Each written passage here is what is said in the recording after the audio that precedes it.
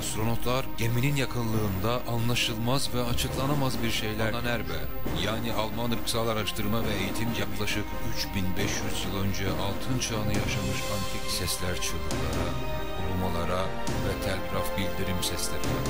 Dünya tarihinin en korkunç seri katiliyle karşılaşmış. İlk olarak koridorda 5-6 hafta sonra kameralar için Igor Diatlov yönetiyor. KGB su gibidir. Bulunduğu ortama uygun insanın zamanda yolculuk yapması meselesinin çözülebilir bir mesele olduğu iddiasını diyor.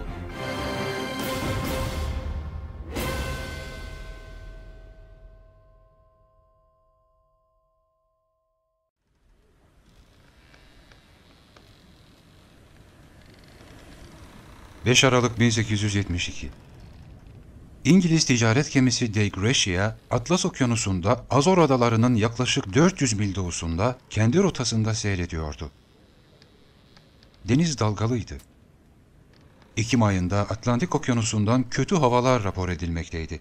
Ancak De Gracia gemisi Kasım ayı geldiğinde yolculuğunu olaysız bir şekilde bitirmişti. Limandan yeniden ayrıldıktan bir ay sonra 4 Aralık 1872'de saat 13'te De Gracia mürettebatı yaklaşık 5 mil açıkta bir gemi gördüler. De Gracia o esnada Portekiz'in 600 mil batısında seyretmekteydi. Haberi alan kaptan David Morehouse hemen güverteye çıktı. Başıboş gemiyi görünce gözlerine inanamadı. Bu De Gracia'dan 8 gün önce yani neredeyse bir ay önce New York'tan ayrılan ve artık İtalya'nın Cenova kentine varmış olması gereken Mary Celeste'ti. Görüldüğü andan itibaren denizciler gemide bir tuhaflık olduğunu sezdiler. Rüzgarlar başıboş gemiyi Cebeli Tarık boğazına doğru sürüklüyordu. Kaptan Morehouse gemiye yardım edebilmek için rotasını değiştirdi. De Gracia, Mary Celeste 400 yard kadar yaklaştı ve bu şekilde 2 saat gemiyi gözlemlediler. Daha sonra gemiye biraz daha yaklaşıldı ve bir yardım ekibi gönderildi. Güvertede kimse yoktu. Alt kısımlar biraz dağınıktı ancak denizcilerin tüm eşyaları ve malzemeleri yerlerindeydi. Geminin sahip olduğu tek can kurtaran filikası kayıptı. Üç pompadan ikisi çalışmıyordu. Kurtarma ekibi alt katlara indiğinde gemi tabanının yaklaşık bir buçuk metre su altında kaldığını gördüler. Kargo bölümündeki 1701 varil sanayi tipi alkol tamamen bozulmuştu. Gemide 6 aylık yiyecek ve su depolanmıştı. Ancak bunları tüketecek tek bir canlı yoktu. Tıpkı SS Oreng Medan olayında olduğu gibi kaptanın günlüğü ve seyir defteri hariç gemiyle ilgili tüm evraklar kayıptı. Geminin saati çalışmıyordu ve pusula, sekstant, kronometre de kayıptı. Ana güverte üzerinde olması gereken filika da yerinde değildi. Geminin arka tarafında yer alan bir palamar ise bir ucu gemiye bağlı olduğu halde arka taraftan denize doğru ucu boş bir şekilde sarkmaktaydı.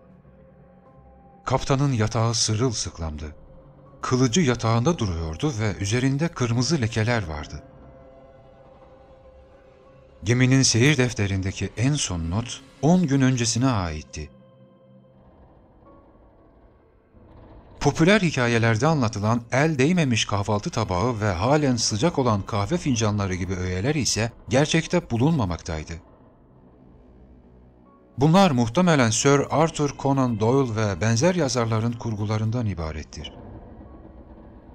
Gerçekte kabin kısmında herhangi bir yemek hazırlığı ya da yiyecek içecek türünden herhangi bir şey gözükmüyordu. Peki Mary Celeste ile denize yelken açmış olan onca kişiye ne olmuştu? İşte tarihin en gizemli deniz hikayelerinden biri böylece başlamış oldu. Onlarca yıl boyunca bu gemide nelerin yaşanmış olabileceği ile ilgili yeterli delile ulaşılamaması, yalnızca çeşitli spekülasyonların doğmasına neden oldu. Varsayımlar gemi isyanından deniz korsanlarına, deniz canavarlarından anomali bölgelerine dek her türden versiyonu içeriyordu. Ünlü Sherlock Holmes serisinin yazarı Sir Arthur Conan Doyle'un 1884 yılında Mary Celeste ile ilgili yazdığı öyküde ise olaylar geminin yolcularından biri olan eski bir kölenin intikam amacıyla harekete geçmesiyle başlıyor. Bu hikayeyi beyaz perdeye taşıyan 1935 yapımı Hayalet Gemi adlı filmde bu katil denizciyi Bela Lugosi oynamıştı. Gemi ölüm yolculuğuna 7 Ekim 1872'de çıkmıştı.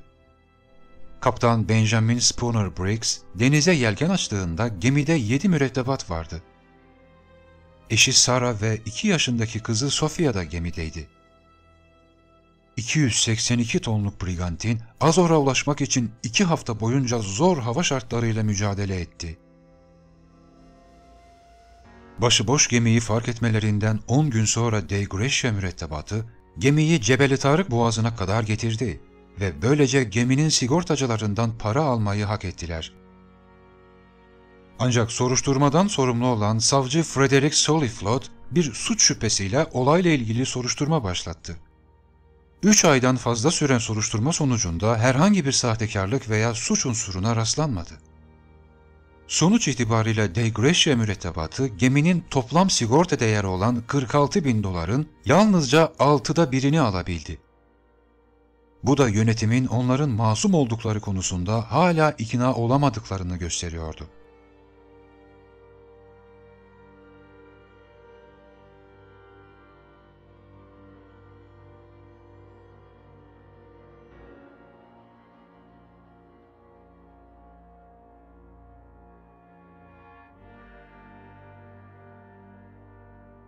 Eğer 1884 yılında Sir Arthur Conan Doyle, Habakkuk Jeffson'ın Beyanı adlı yazısını yayınlamamış olsaydı, Mary Celeste'nin hikayesi belki de tarihin karanlık sayfalarına gömülüp gidecekti.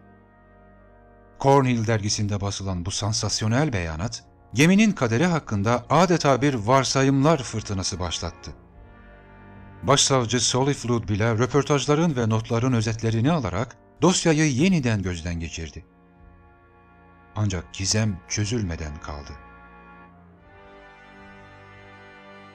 Son dönemleri ise deniz teknolojisinin gelişmesi ve ortaya çıkarılan yeni belgeler, olayla ilgili çok daha akılcı varsayımların doğmasını sağladı.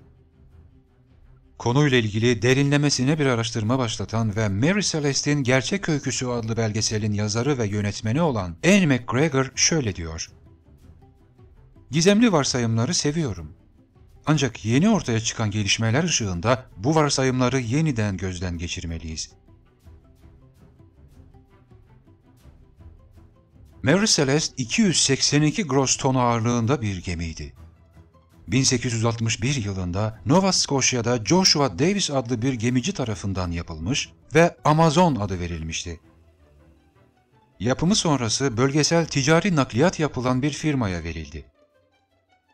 Gemiyle ilgili bundan sonra olanlar zaman zaman uğursuz olarak nitelendirilmesine neden oldu. Amazon'un ilk kaptanı Robert McLellan geminin sahiplerinden birinin oğluydu. Ancak gemi kaptanlığını aldıktan 9 gün sonra seferdeyken öldü. Bu aslında geminin güvertesinde ölen 3 kaptanından sadece ilkiydi.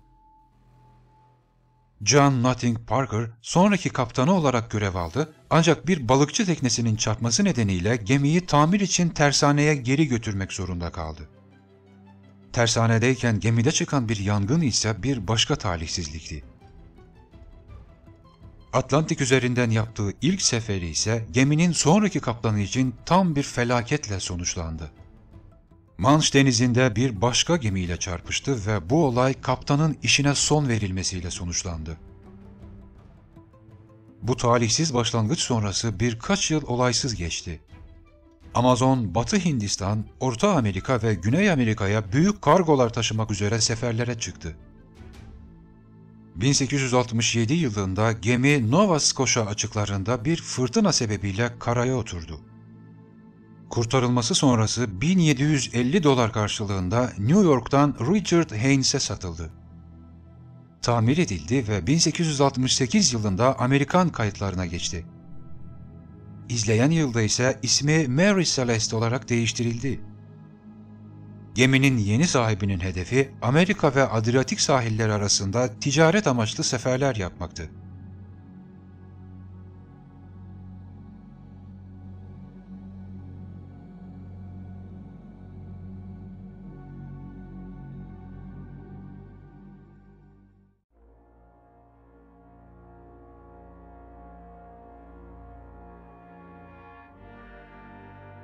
Anne McGregor araştırmalarına öncelikle mantıksız varsayımları eleyerek başladı. İlk başta deniz yaratıkları ile ilgili spekülasyonlar ortadan kaldırıldı. Bu söylentilere geminin apar topar terk edilmiş izlenimi vermesi neden olmuştu. Geminin yükle dolu ve dokunulmamış görüntüsü deniz korsanları versiyonunu da çürütüyordu. 19. yüzyılda ortaya çıkmış bir teoriye göre ise o gece denizciler çok fazla alkol almış ve gemide isyan çıkarmışlardı. Denizcilerin aileleriyle yapılan görüşmelerden sonra bu ihtimalde olasılıklar arasından çıkarıldı. Bir başka teori ise Azor sıcağında kargo bölümündeki alkolün buharlaşmaya başladığını, genişlemeden dolayı bazı kapakların attığını dışarı çıkan buharların ise patlamayı kaçınılmaz kıldığını anlatıyordu. Çünkü depodaki 1701 varilden 9 tanesi boştu. Bu 9 varil diğerleri gibi beyaz meşeden değil, kızıl meşeden yapılmıştı. Kızıl meşe ağacından yapılan ürünler diğerlerine göre daha gözenekli olur. Bu da sızıntı ihtimalini doğuruyordu. Ayrıca fazla yakın dizilen variller birbirlerine sürtünüyorlardı ve çeperlerindeki metal nedeniyle bir kıvılcım çıkması olasıydı. Bu şekilde oluşmuş olabilecek bir patlama gemideki kaçışı açıklayabilir. Tarihçi Conrad Byers'e göre ise Kaptan Briggs kargonun durumuna bakınca ortamda buhar ve dumanı gördü bir patlama olacağı inancıyla herkesi filikaya bindirdi ve filikayı gemiden güvenli bir uzaklıkta bir halatla bağlayarak uzakta durmak istedi. Ancak bu plan başarısız oldu ve halatın kopması nedeniyle filika gemiden ayrılmaya başladı. Bir süre sonra da filikadakiler açlıktan, susuzluktan ya da boğularak öldüler.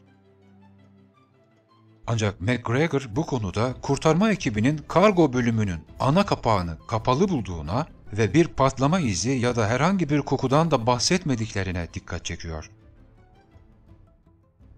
Lugosi'nin Mary Celeste'in Sırrı adlı filmde canlandırdığı katil denizciye gelince, bunların Volkert ve Boye Lawrence'ın kardeşler olduklarından şüpheleniliyordu. Ancak gemideki aramalar sırasında bu insanlara ait herhangi bir özel eşya bulunamamıştı. Lawrence'ınların haleflerinden biri ise McGregor'a bu kardeşlerin eşyalarını 1872 yılında yaşanmış bir kazada kaybettiklerini anlatmıştı. Modern denizcilik zamanına ait bir teoriye göre ise yaşanan bir deprem nedeniyle bazı alkol varilleri açılmış ve içlerindeki alkol depo bölümünün zeminine yayılmıştı. Geminin yakıtının da sarsıntığı nedeniyle açığa çıkıp hepsinin zeminde karışması nedeniyle bir parlama oluşmuştu. Bu da Mary Celeste tayfasında bir paniğe neden olmuştu.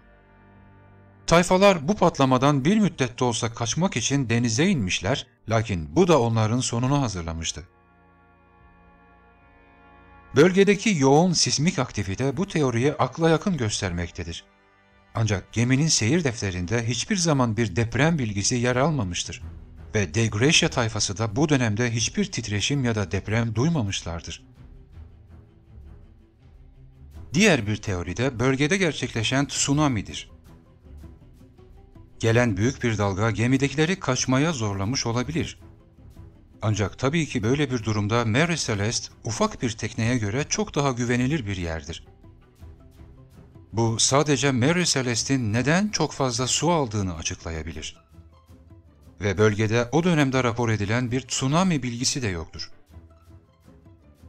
Tsunamiler denizin derinliklerinde olurlar ve gemileri çok fazla etkilemezler. Ancak gemi kıyıya yakın bölgede ise etkilenme ihtimali yüksektir. Bu teoriye göre tüm yolcuların ve tayfanın dalga tarafından yutulması için hepsinin aynı anda güvertede olması gerekmektedir. Benzer bir senaryoda okyanusta oluşmuş olabilecek ani bir sağanak yağış temeline dayandırılabilir. Yağışın güverteyi tamamen kaplaması Mary Celeste'in batmakla yüz yüze kalmasına yol açmış olabilir. Bu olay ayrıca gemide oluşmuş olan paniği, kaybolmuş filikayı ve pusulayı, ayrıca De Grecia mürettebatınca bulunduğunda neden yoğun olarak ıslak olduğunu açıklayabilir. Ancak az önce de dediğimiz gibi sırf bu nedenden dolayı yük dolu sağlam bir geminin denizin ortasında bırakılması akıl alır gibi değildi. James Kimball ve yazar Gershom Bradford tarafından öne sürülen bu teoride alçak basınç sistemi, oluşan yağış ve sintine suyunu ölçümleyen ve tahliye eden sistemlerdeki basınç değişimi nedeniyle oluşan arıza sorumlu tutulmaktadır.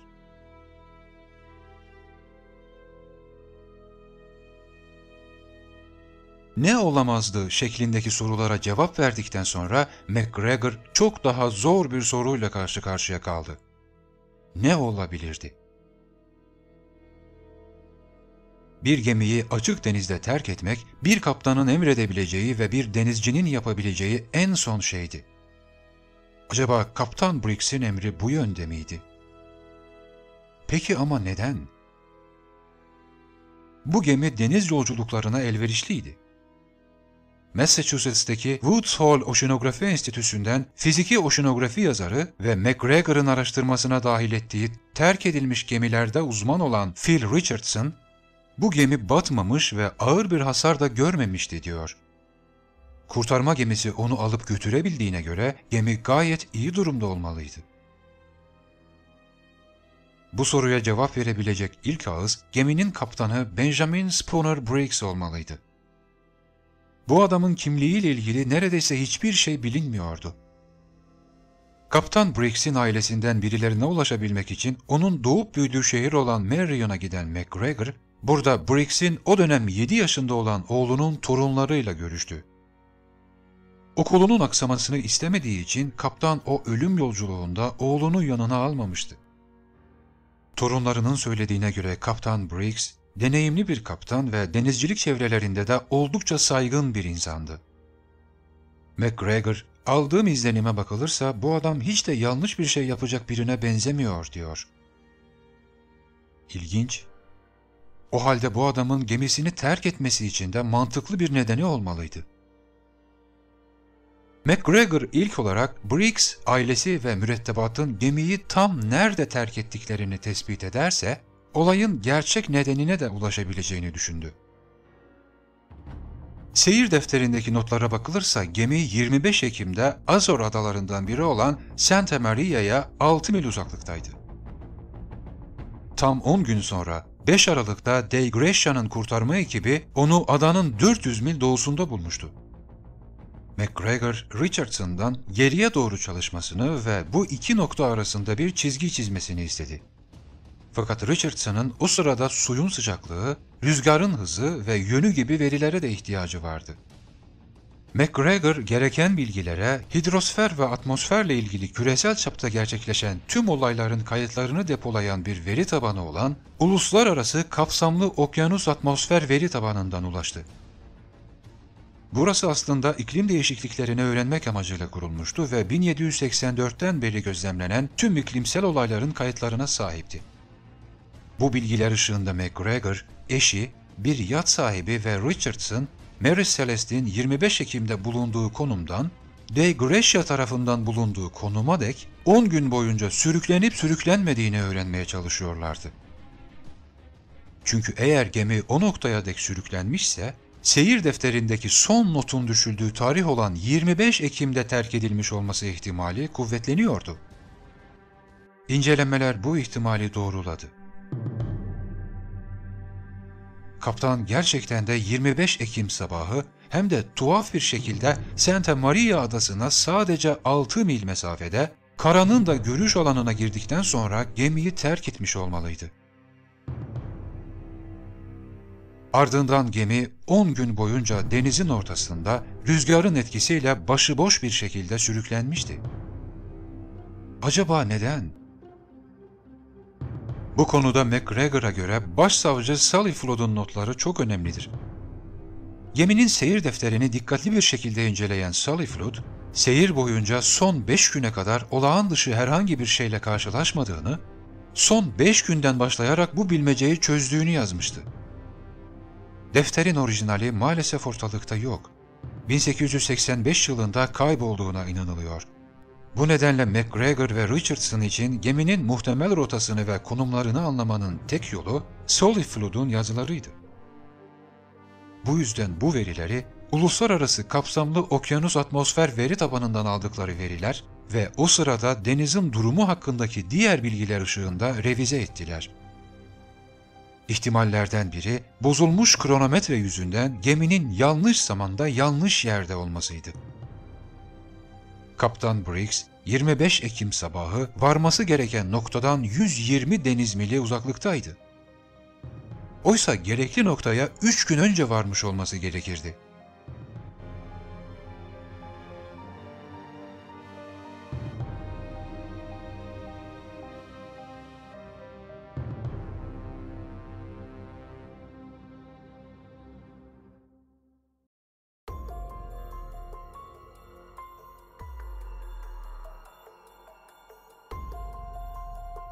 Soliflu'nun notları McGregor ve Richardson'a çok önemli buldukları bir bilgi daha veriyordu.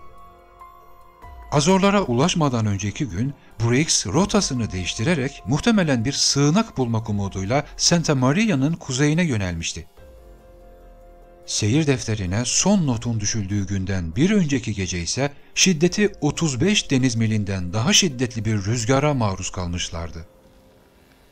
Ancak kötü hava şartları ve bozuk kronometre dahi böylesine deneyimli bir kaptanın gemisini terk etmesine neden olamazdı. Burada her şeye rağmen hala karanlık kalmış bir şeyler vardı. Kömür tozu ve inşaat molozları su pompalarının bozulmasına yol açmış olabilirdi. Bu da iki su pompasının kaldırılmasını açıklıyordu. Pompalar olmayınca Briggs geminin gövdesine dolmuş olan suyun seviyesini göz ayarı tespit edemezdi. Su seviyesi sanıldığının çok üzerine çıkmış olmalıydı. İşte McGregor'a göre tam o sırada zaten kötü hava şartlarını yeni atlatmış olan ve gemisinin batıp batmayacağını da kestiremeyen kaptan, geç de olsa kara parçasını görmüş ve geminin acilen terk edilmesini emretmiş olabilirdi. Ancak başsavcı Soliflood gibi McGregor da Mary Celeste'in hikayesinin peşini bırakmak niyetinde değildi. Bu hikaye onu çok etkilemişti ve bu konuyla ilgili Araştırma Devam Ediyor adlı bir kitap yazmıştı. Çünkü gelecek nesillerinde bu olaydan çok etkileneceğini düşünüyordu. Ve savcı bu fikrinde yanılmamıştı.